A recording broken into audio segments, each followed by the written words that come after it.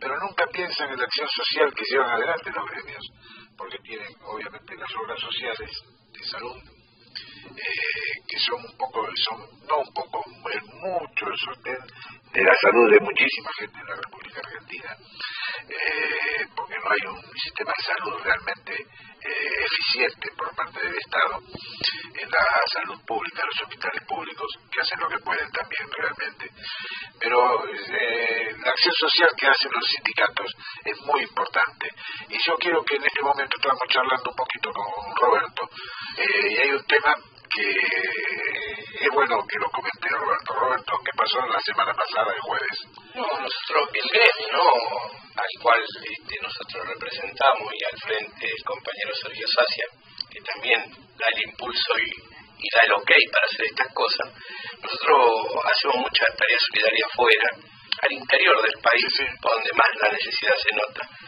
Y nosotros, en este caso, se han ido a ayudar este, escuelas a Santiago del Estero, a Tucumán, a Santa Fe, y nosotros decidimos ir a Misiones. Eh, emprendimos un viaje, 14 compañeros, con 5 vehículos cargados, con donaciones que juntamos en 20 días. Eh, ¿Y cómo llega a eso, Roberto? Hay una, una compañera nuestra que participa en el espacio de la agrupación Lealtad, que la que yo llevo al frente, una compañera que es de la provincia de Misiones y es oriunda del pueblo de San Vicente. En una charla de esas de mate por medio, comentó lo que había pasado, las vicisitudes que había pasado ella de chica, yendo al colegio, caminando nueve kilómetros, descalza, eh, algunas veces sin poder llegar al colegio porque había que trabajar y juntar tabaco, cortar hierba, y que hoy se mantenían las mismas necesidades. Se decidió inmediatamente decir, bueno, ese es el lugar para ir, vamos a probar, buscamos el contacto con una escuelita de frontera en el pueblo de San Vicente, contactamos, este, pudimos obtener el teléfono, se puede hablar una vez al día en un horario porque no hay señal.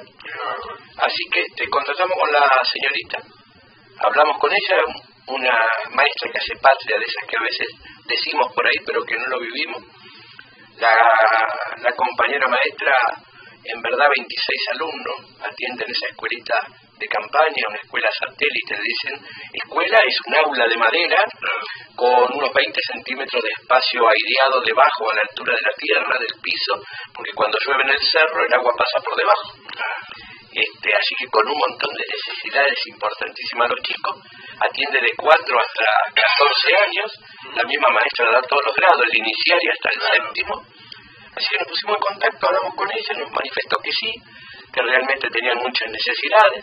Creo que hablamos tres veces en ese periodo de los 20 días y decidimos el jueves pasado partir a las 6 de la mañana con todos los vehículos y los compañeros. Y ustedes preguntaron cuáles eran las necesidades. Eran todas, Todas, todas, las necesidades, desde decir un gesto nada más de, de que no tenían campana de escuela, y te olvídese de timbre, luz, este, no había campana de escuela, no tenían una bandera de ceremonia, este, bueno, y la necesidad de todos los chiquitos. Así que bueno, tuvimos la suerte y la colaboración de todos los ferroviarios de la línea, que fue pero cuantiosa la cantidad, imposible poder cargar todos los viajes que hicimos, y este, tuvimos la suerte también de la Fundación Haciendo Lío del Papa Francisco, que amablemente colaboró con Calzado para llevar para los chicos, una empresa, una asociación mutual también que está en Morón, colaboró con colchones de una plaza nuevos, bueno, y así sucesivamente, el gremio nuestro colaboró con la campana, la bandera de ceremonia, y todos los ferroviarios con ropa, medicamentos, juguetes.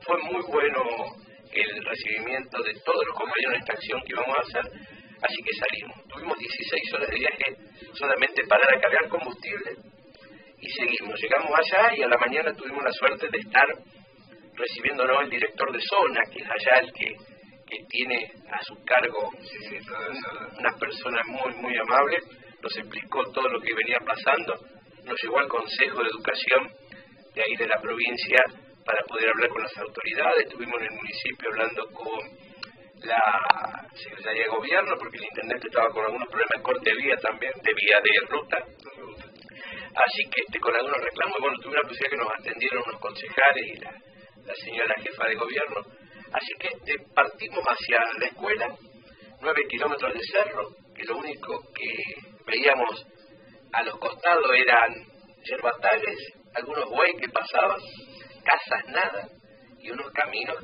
impresionantes para poder llegar. Hasta que bueno, ahí llegamos a una esquinita de un lote, entre el medio de la nada, erguía una escuelita de madera con un mástil de caño muy humilde y 26 chiquitos esperándonos, este, ansiosos por ver que llegaba. Así que la satisfacción más grande de lo que nos trajimos de allá, de haber compartido con los chicos unas cuantas horas ahí en la escuelita, fue la sonrisa de cada uno de ellos. Eh, con decirte que algunas cosas de lo que tren, olvidemos lo que conocían.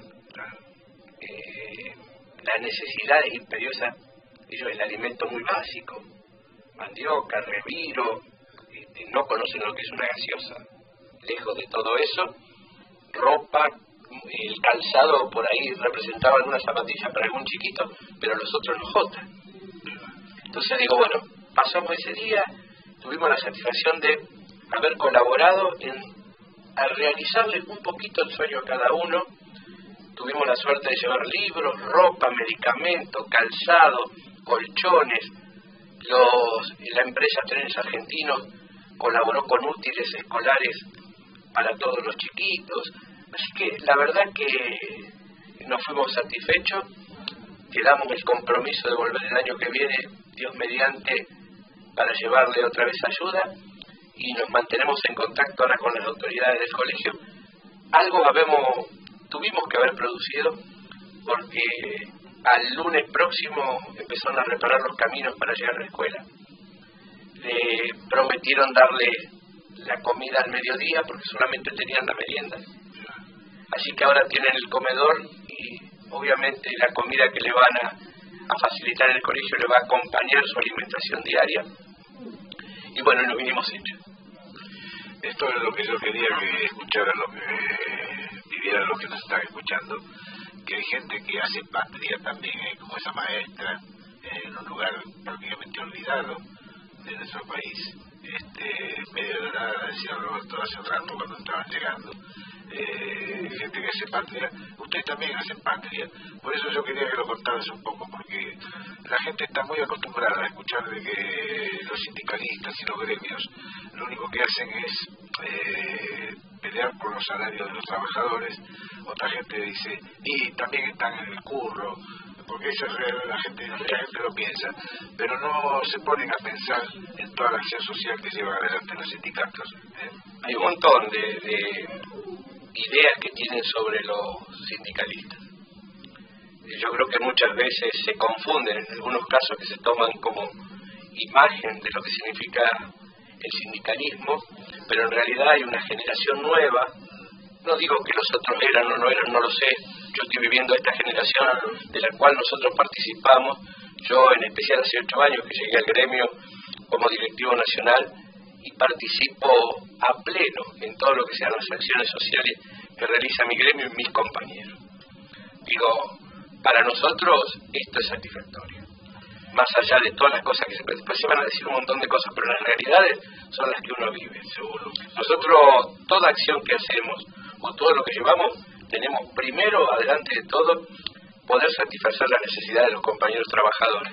Porque no solamente tenemos en Buenos Aires donde la cosa es más fácil, también hay ferrocarriles en Salta, en Bariloche, en La Pampa, y son compañeros que no se pueden manejar de la misma forma que se manejan todos los compañeros del área metropolitana. Son distintas las realidades, son distintas las formas de trabajo, pero nosotros tenemos que bregar por el compañero que está en Buenos Aires y por el último compañero que está en Salta, allá arriba en San Antonio los Cobre. Digo, esto es lo que nosotros apuntamos a que a llegar en algún momento a poder otra vez tener la misma satisfacción de que el sueldo del compañero, que hoy todavía tenemos diferencia con algo del interior y que nos fuimos arrimando mucho en esta gestión de estos últimos años, todavía nos falta. Nosotros apuntamos, obviamente, a tener un convenio único por actividad y no por empresa como se hizo desde los años 90. También tenemos que ver que en el momento que se privatizaron y que en realidad se terminaron siendo concesionados gracias a un diputado como Lorenzo Pepe, que se plantó en el Congreso y manifestó que había que cambiar esa palabra de concesión a privado, porque si no nunca hubiera sido del Estado otra vez. Que nos dio la posibilidad de poder seguir trabajando. Bueno, Lorenzo era ferroviario. Lorenzo Ferroviario, hoy este, todavía sigue luchando. Director del Museo Ferroviario. todavía sigue luchando, hoy está a cargo del Museo Perón, donde era, la, donde era la primera casa residencial del matrimonio, atrás de la Biblioteca Nacional, sigue, siendo el director ad honorem este, en ese instituto. La de Exacto. Así que digo, hay un montón de cosas, no todo es malo, ni todo está perdido.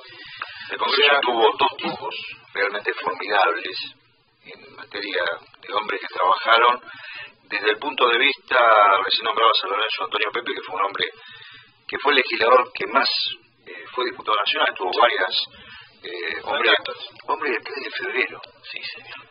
Hombre de una zona donde estuvo más culto como intendente, otro hombre ligado al sindicalismo, que algunos lo pueden ver bien, otros lo pueden ver mal, pero un hombre de la UOM, esto del paso que a veces lo decimos, de los hombres del sindicalismo en la política, que sí.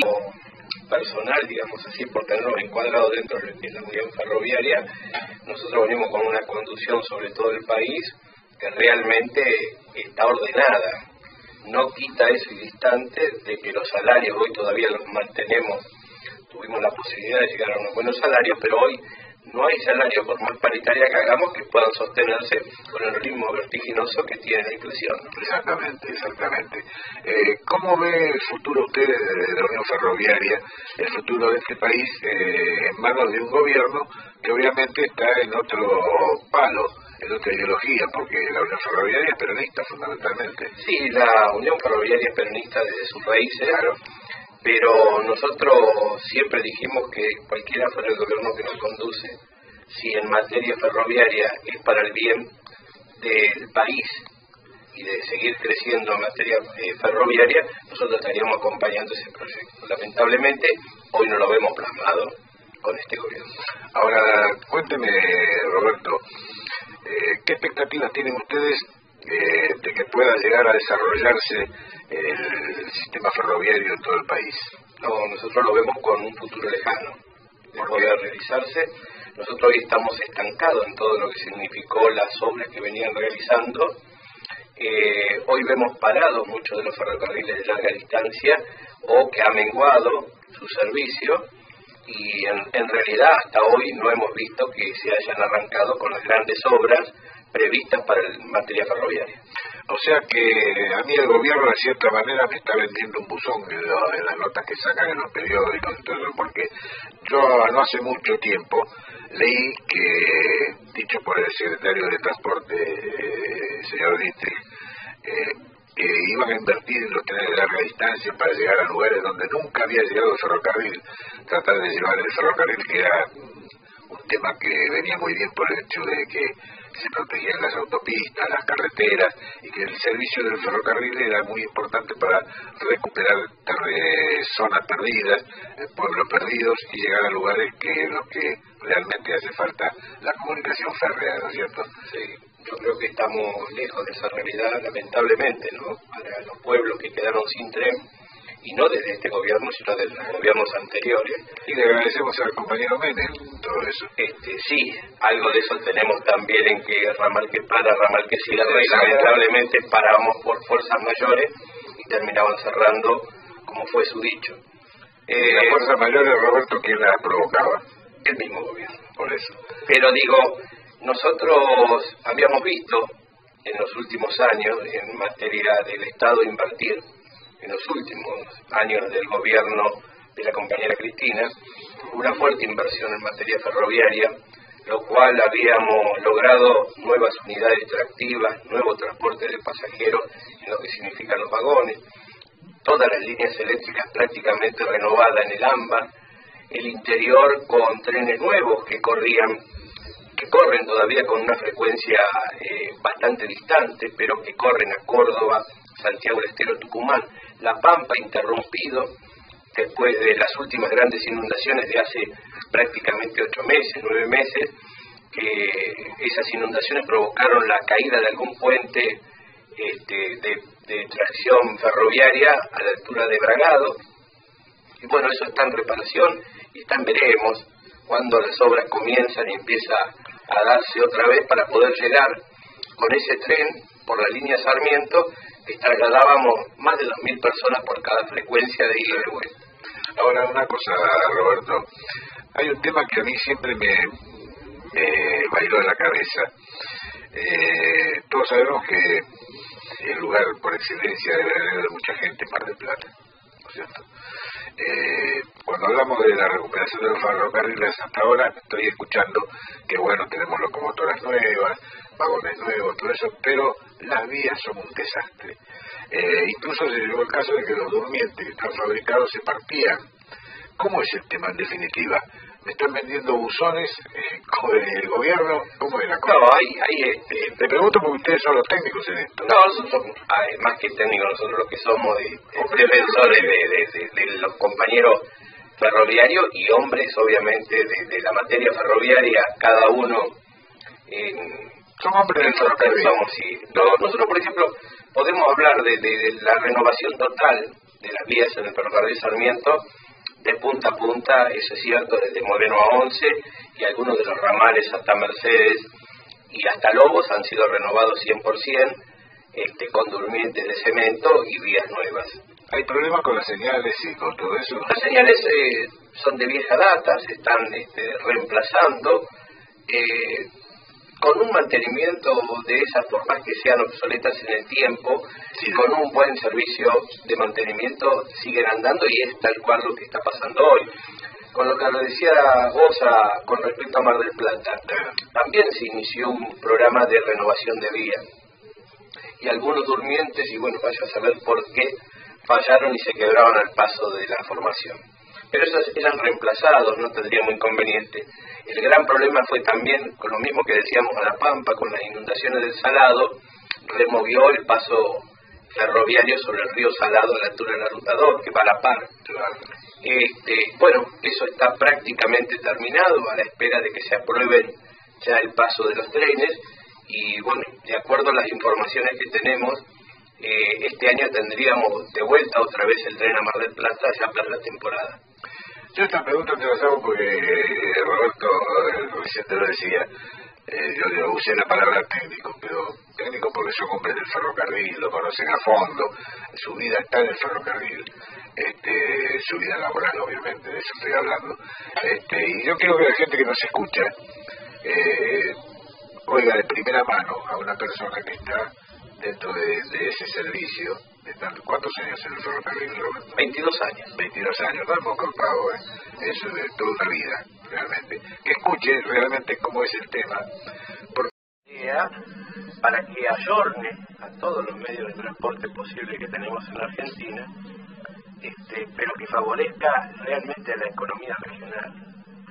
De, de esta forma, para nosotros nos vemos muy reducidos a, un transporte de carga hoy que recién se está empezando a querer activar lo que es el transporte del Belgrano Carga y Logística, lo que recorrería prácticamente todo el país. Pero eh, si no se hace una ley de transporte, acá falta un transporte multimodal, donde el tren pueda llegar hasta un cierto lugar, o los camiones y después transbordar esa mercadería, las vías navegables. Hay una serie de transporte que si no se pueden ayornar uno con el otro, vamos a seguir en la misma. Es que sería redituable, Roberto, porque hoy los, hoy los camiones eh, transitan miles de kilómetros, ¿no es cierto?, desde lugares de producción en el interior del país. Y es un desgaste impresionante de la ruta, de, los, de las unidades móviles, de los camiones cubiertas. De otra manera, un ejemplo... La seguridad. Y la seguridad. Un ejemplo, la hidrovía, por ejemplo. Puertos Barranquera, que llegaran rutas a esos lugares con camiones, que sería más corto el tránsito de, las unidades camioneras, ganarían igual, no hay ningún problema. Un ejemplo entonces muy chiquitito, los choferes descansarían más tiempo, no habría problema de, agotamiento, accidentes, seguridad que recién lo mencionabas. Un ejemplo muy chiquito que está en la lista de todo el mundo, el mercado central. El mercado central se preparó para que ingresen las tres trochas al mercado que venga con mercadería en tren y que de ahí se pueda distribuir o trasladar o sea, pero llegarían, nunca se utilizó, nunca se utilizó. Y con eso basta simplemente como para marcar un ejemplo en lo que es el transporte de carga, digamos, ¿no es cierto? En ese sentido. Trocha Costa, Trocha Media, la Croce, sí. de, de Urquiza y la Trocha Alta, que, es un poco eso. Es un poco, un poco bastante grande realmente el tema, ¿no? Así que... Ahora, a mí siempre me, me suena la campanita en la cabeza que estas cosas que nosotros charlamos, que no tenemos a lo mejor el poder de, definir o de decidir políticas para que, que hagan bien al país y a, y a todo lo que él. Yo pienso, no se les ocurre a los políticos que están en, la posición de poder, en el gobierno. Yo no sé si no se les ocurre, nosotros desde... O somos demasiado inteligentes, ¿no? No, nosotros en los sindicatos planteamos permanentemente el cambio para poder llegar a lo esencial que sería el transporte de carga y de pasajeros. Obviamente. Después la decisión política va más allá de lo que nosotros podamos plantear. Pero que no le quede ninguna duda a la audiencia que nos está escuchando que este gremio, como nosotros siempre decimos, con trabajo, pasión y gestión, es lo que nosotros queremos para los ferrocarriles y para nuestro compañero. Roberto, una cosa, por ejemplo, el que conoce la Patagonia, ha viajado a la Patagonia, yo también, eh, son eh, kilómetros y kilómetros de, extensión de desierto en muchas partes. ¿Cómo puede ser que no haya una línea ferroviaria que vaya desde Buenos Aires, ponerle como van a Córdoba, Mendoza, que vaya hasta el sur, hasta, Santa Cruz? Decisión política. Volvemos a, Nada, volvemos a lo mismo. Una decisión política. O sea, la inversión que puede llevar hoy los ferrocarriles es el beneficio potable en futuro. Exactamente. No, no hay otra, no hay tanto secreto. Que tendrá muchas prioridades el Estado Nacional, las necesidades son cuantiosas en todas las materias. Pero creo que un país sin ferrocarriles no tenía desarrollo del país. A mí me llegó viendo una película un día, una película filmada en Inglaterra, que hablaba una una chica muy joven que pertenecía al ferrocarril inglés y le decía a una señora que se tranquila, los ferrocarriles ingleses son molentos, pero llegamos, llegamos seguro. Llegan siempre. Llegan siempre. Acá, por ahí se quería hacer el tren para anda en cacho en la pared. Todavía para Rosario. Todavía, y todavía me estoy riendo. Inclusive, en ese momento, el ministro de Planificación Federal, Julio De Vigo, hoy diputado nacional, y el expresidente fallecido, Néstor Carlos Kirchner, habían presentado la maqueta del tren entre bombos y platillos. Ahora, la cuestión política, el Congreso tiene a Facundo Moyano, hombre de Frente Renovador, a cargo de la Comisión de Transporte de la Cámara de Diputados. Y la Comisión de Intereses Marítimos la tiene Julio Rodolfo que es un hombre, en este caso, que viene del Frente para la Victoria entre Ríos.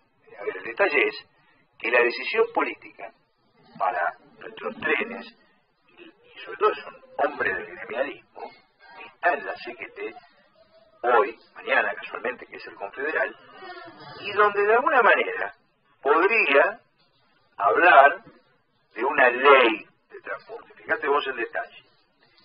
Debajo del obelisco, ahora quieren juntar la gestión de Rodríguez Larreta, el subte, el tren, la comunicación de la capital federal entre las principales estaciones de subte.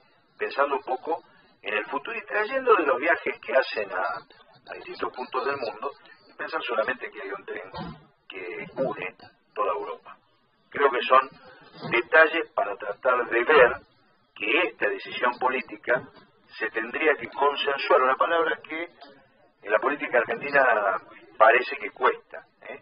la palabra unión, no confrontar, sino tratar de alguna manera de relevar ideas y en forma consensual. Tenés el primer congreso, en 26 años que lo lleva en la Cámara, el primer congreso en la cual este presupuesto que se va a votar no tiene mayoría el Poder Ejecutivo Nacional. Creo que es solamente una gentileza que a veces da la democracia. fíjate vos una cosa, Juan Carlos, y hablaba de que quieren hacer un sistema de enlace subterráneo con la, terminal de ferrocarril. En Madrid, el metro de Madrid llega al aeropuerto de Barajas. O sea que vos te bajás en el aeropuerto de Barajas, te bajás, no tenés que estar en 46 a ver que me voy, cuando me cobra Tienda León, cuando me cobran los taxis. Metro, tú, y llega al centro de Madrid. Ahora, acá nunca se pensó en este tipo de cosas.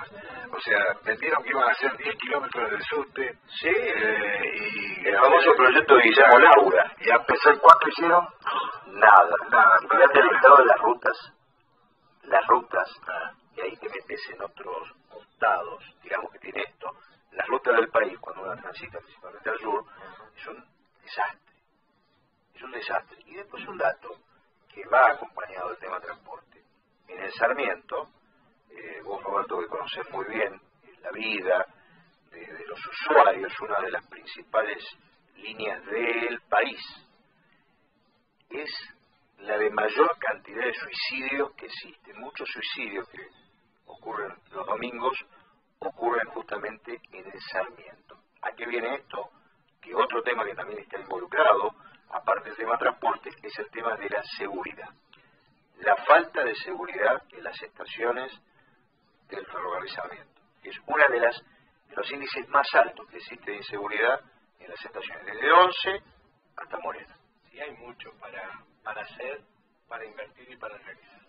Concientizar primero al pasajero, indicarle, pero también evitar desde la empresa este, cuáles son los riesgos y por qué se algunas cosas ocurren. Yo, este, sin lugar a dudas, hoy lo decía en una reunión, eh, rescato la gestión de Randazo con respecto a la inversión en temas determinados. Por ejemplo, en Randazo en algún momento manejó la identidad de todos los argentinos, con el famoso DNI, con la tarjeta SUBE, que se quiere unificar todo ahora. Y bueno, la inversión que se ha hecho, no por la gestión de Jaime, que ha sido un desastre, pero sí con la gestión de Randazo, que inclusive con este gobierno, con Dietrich, eh, ha dicho que, por lo menos, ha dicho un- en parte bien las cosas.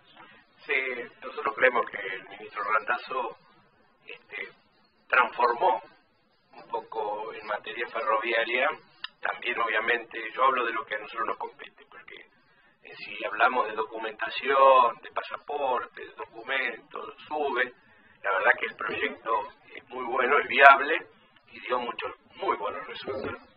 En materia ferroviaria, la verdad que fue el ministro que más se abocó a brindar las mejoras a todo el transporte ferroviario y que dio y se vio sus frutos después de muchos años. O sea, a ver, para entender un poquito y, y graficarlo, después del gobierno del general Perón, el gobierno que más le dio en materia ferroviaria fue este último gobierno. Esto no podemos decir porque es la realidad de lo que nosotros vemos. Hoy una opinión muy personal mía, yo esas inversiones faraónicas de abajo del obelisco o el soterramiento del Sarmiento, ese dinero lo invertiría en poder poner en funcionamiento nuevamente las líneas ferroviarias interior, que tanta necesidad tienen esas provincias para poder trasladar a la gente. Eh, Dios atiende en Buenos Aires. No, no, por Esto lo dicen siempre y la verdad que es una realidad. Ahora Todos son muy elevados. los costos son muy distintos a un micro, a un tren, y entonces digo, esa inversión faraónica que tenemos de esas obras, que es sin ninguna duda que es el progreso y es el mejoramiento para la ciudad y, y que nos va a poner en un primer nivel en el transporte. Ahora, si nos olvidamos del lámbar para afuera, no tenemos nada. El valor de avión. Más presencia policial o de gendarmes, hay. Te hago una pregunta, Roberto, porque no lo vi yo solamente. Me lo ha hecho, la pregunta me la ha hecho mucha gente que viaja en Sarmiento. Cuando arrancan los trenes nuevos, estos coches nuevos, la empresa ferrocarriles eh, trenes argentinos puso lo que la gente le decía los patomitas. Estaban vestidos de negro, con botas, ¿viste? Todo. Y andaban por el tren. Claro, obviamente la que, si alguno quería hacer un repelote, un lío, veía al ropero y se quedaba piola en el molde Se ven hoy, eh, están sobre los andenes y ante la solicitud del guarda o del conductor a través de los medios de comunicación, ellos acceden a la formación. Es una situación jurídica más que nada ante la situación de un eventual problema o, digamos, delito, por decirlo algo así, no puede actuar un civil. Tiene que actuar las fuerzas de seguridad. O sea, si bien el guarda es la autoridad máxima dentro de la formación y actúa en trayecto como si fuera un policía, tiene el valor y tiene la autoridad de como un policía, al momento tiene que estar la autoridad competente, que sería Gendarmería, Prefectura o Policía Federal. La famosa ley de ferrocarriles argentinos. Tal cual. Este, entonces no se puede actuar en contra porque no tendría ningún valor judicial después para eh, poder este, realizar alguna acción judicial contra tiene la que utilizar un procedimiento utilizando la fuerza. Bueno, es bueno, yo quisiera preguntar porque no es bueno la respuesta que acaba de dar, porque mucha gente no lo sabe eso. No, lo, lo, lo genérico del otro día fue lo del perro, que salió por todos lados, no sé si ustedes lo vieron, una pasajera en líneas que quería subir con un perro y, y transformó en dejar detenida la formación en linier, porque la señora no se quería bajar. Muchos se ponían a favor de la señora, a favor del perro y otro que lo baje. Bueno, el otro no Es que perdón, pero que salió fortalecido fue el perro. Y el perro. Bueno, hay que decir, ¿puede viajar no animales? puede viajar el animal, tiene que ser te- Tenemos que empezar a cumplir, que las ordenanzas son para cumplirlas si queremos ordenar algo. No, no, no. Entonces, eh, que el CAN únicamente puede acompañar a un menos válido, o sea, a una persona ciega. Y tiene que ser un lazarillo. Claro. Si ahora por alguna cosa especial viaja algún CAN, tiene que viajar en el canil, Exacto. encerrado. Si el perro es demasiado grande, no puede viajar en estos trenes porque no tenemos furgones. Claro, los famosos lecheros sí. Ah, tenía los furgones, claro. tenía que ir con un bozal y pagaba un pasaje como si Pagaba fuera pasaje. ¿Guarda? ¿Estuviste como guarda? Sí, el inicio mío en el ferrocarril fue como guarda, jefe de tren y hasta ¿Qué estación? En todas, porque Todas, andaba sobre la formación en el eléctrico y en los ramales que iban a Mercedes Claro. y los que iban a Lobos. En realidad, el guarda es el jefe de tren. En, en realidad el guarda es el jefe de tren, figura que allá por las privatizaciones se perdió, porque guarda había tanto en la carga con el famoso este vagoncito chiquito que nosotros le llamamos Carlito, Naranja, Caracola, este, con la privatización se cambió por una luz, Claro, exacto, sí. por un telémetro, Así es. y que en muchos lugares se habían disminuido las funciones ferroviarias con las empresas privatizadas, lo que llevó ya de aquel momento una lucha para recuperar esos lugares que eran históricos y que son de funcionalidad importantísimo para la corrida de los trenes, ¿no? Que, que brindan aquella identidad ferroviaria, la seguridad, ante todo sobre la corrida de los trenes. Ahora ya tengo una a favor yo. Tengo una a favor de la línea Sarmiento. Cuando el guarda me, no me consigue un asiento, digo que haga Roberto no tiene. Claro. La hora no pico, ¿eh? si no va a ser imposible. Ahí está, Roberto, que es amigo. Y en los larga Que no va a ser distancia, eso, cuando uno iba a Mar del Plata, se acordaba que había un inspector general, aquellos operativos del verano que se hacían para ver si se viajaba este, con el pasaje, y estaban los inspectores, que eran los tipos, vos decías, che, mira, ya está el chancho Camodeca, mi amigo, este, y viajaban. Bueno, una forma de ser, lo queríamos. Por supuesto. Pero este, existía la carrera, digamos, de... Eh, ahora pudimos nosotros, dentro de todo, el inspector todavía no se pudo lograr, a pesar de los años, pero sí se logró el instructor de guarda, que compañeros nuestros eh, empiezan a preparar y a formar a quienes tienen que llegar a, a- a esa funcionalidad. Nosotros dentro de lo que significa el gremio hemos tenido la suerte de poder realizar el Instituto de Formación y Estudios Ferroviarios, que es dirigido desde la organización y que tiene formadores de formadores. Nosotros hemos tenido la posibilidad de poder mandar compañeros trabajadores de todas las líneas a China en su momento para que se puedan capacitar en las nuevas formaciones, en la nueva tecnología y que ellos son hoy formadores de formadores cuando instruyen para porque se termina la garantía de, de esta- de estos coches chinos y hay que empezar a reparar en Argentina. Que realmente son un lujo estos coches. ¿eh? La verdad que tienen una tecnología de punta eh, muy importante, están con todo lo que indica la tecnología europea para poder este circular y la seguridad, ¿no es cierto? Tienen frenos dinámicos, aire acondicionado, son levantan velocidad enseguida los eléctricos muy rápido, las formaciones que van a, al interior a larga distancia con su locomotora, pero con una comodidad excelente, diríamos, en lo que significa primera, eh, Pullman o coche camarote que se habían perdido.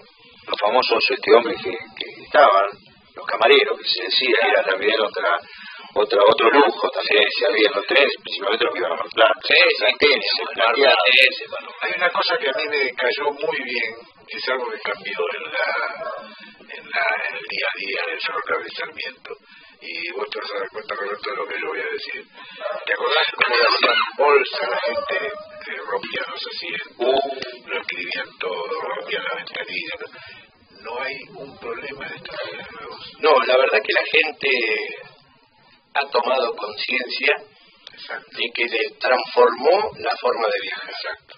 Eh, no podemos dejar de desconocer que los trenes viejos, los famosos Toshiba, los que tuvimos hasta antes del cambio que se produjo, Los que eran amarillos. los que eran amarillos, que en su momento eran del año 59, 61 y llegaron usados a la Argentina. Claro. Ya no daba más, eran obsoletos por completo, ya el mantenimiento dentro del masa. Eh, obviamente no salimos fuera de la CGT, sino que no participamos de ninguna de las decisiones